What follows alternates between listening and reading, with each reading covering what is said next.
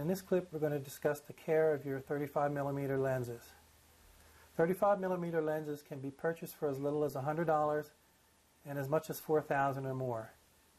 To ensure the life of your lens and the clarity of your pictures, it's necessary to protect them and to keep them clean.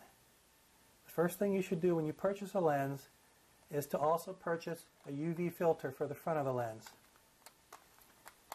These filters just screw onto the front of the lens. They're quite inexpensive in relation to the cost of the lens. And if you ever drop the lens or bump it with something, with the filter on the front, the filter will take the brunt of the impact. And all you'll have to do is replace the filter instead of the lens that you purchased. To keep the lenses clean, you may use tissue paper for lenses. You may use swabs like this or 100% cotton cloths. All you're going to do is just brush the dust. If there's any dust on here, brush that off. Blow on it gently. Do the same thing on the front.